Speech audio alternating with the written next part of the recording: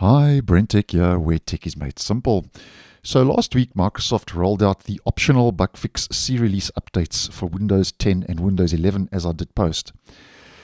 And as I also mentioned in a video I uploaded last week, they also pushed out the latest update for Windows 11 version 24H2, KB5040529, which was released uh, to the release preview channel insiders with lots of new features and bug fixes. And I did post on that, so for what it's worth, I'll leave that video linked down below and in the end screen. Now, that optional update, which was rolled out to uh, release preview channel insiders last week, has now actually made its way to the stable version of Windows 11 24H2. And when I say stable version of 24H2, 24H2 hasn't been, been released to the general public as a feature update yet, but it is available on Copilot Plus PCs, which did roll out um, uh, in June. So if you happen to be on a Copilot Plus PC, then you may be interested to know what this update entails. And this update actually rolled out on the 30th, which was a couple of days ago. So for some reason, Microsoft didn't really officially announce this update, um, that it's out of preview now and made available. And that's most probably because um, the majority of users are not on Copilot Plus PCs, so it's only Copilot Plus PCs that this update pertains to. So this update we're going to mention today is targeting only Copilot Plus PCs. So just a quick recap if you missed that previous video.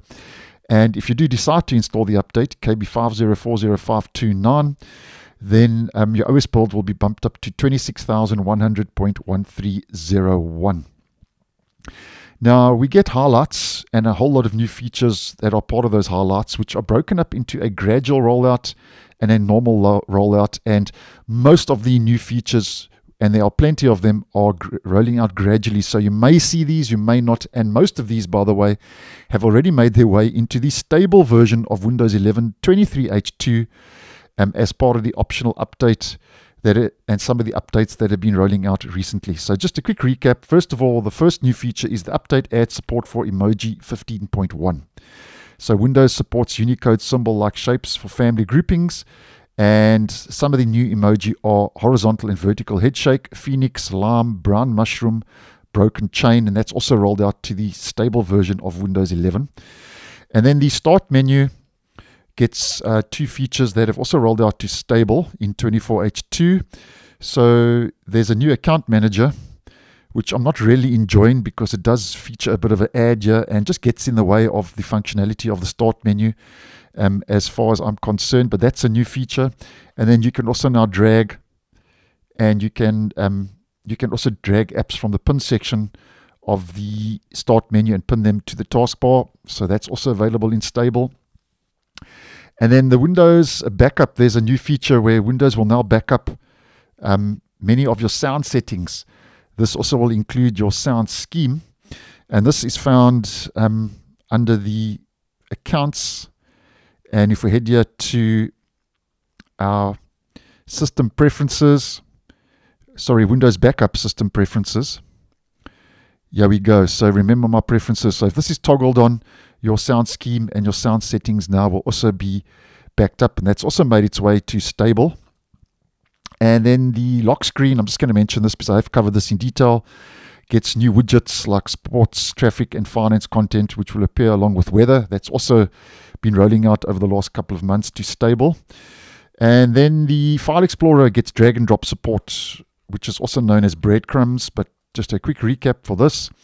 So if we head up to uh, some files in our File Explorer, you can now drag and drop those to other folders that are, which Microsoft calls breadcrumbs in the address bar. So that's also rolling out across the board and was a highly requested feature which Microsoft removed and now has brought back.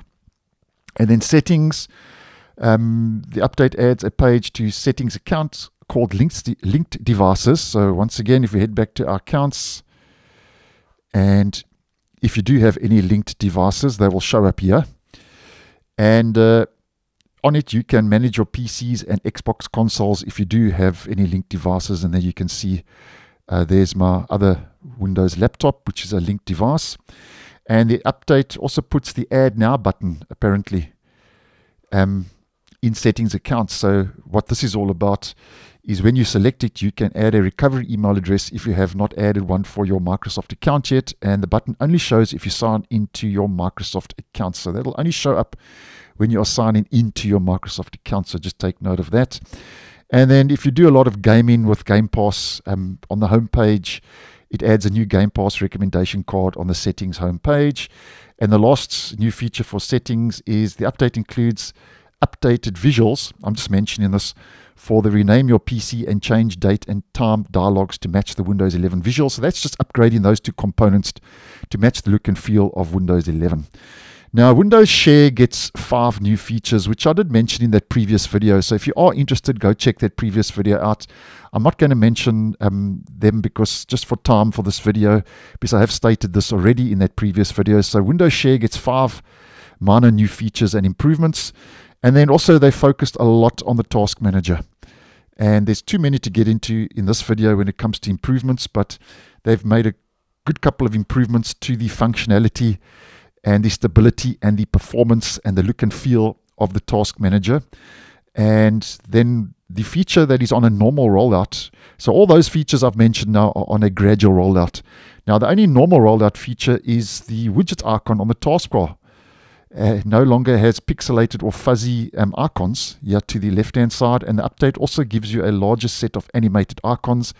And that's also rolled out to the stable. And then because this is a non-security update, it also includes quality improvements. So there are a couple of fixes that are taking place under the hood. So that's KB5040529, which is now out of preview and has made its way to stable. And as mentioned, this update only applies to Windows 11 version 24H2 that is targeting Copilot Plus PCs, devices, and devices that were previously using Windows Insider 24H2 build. So just take note of that.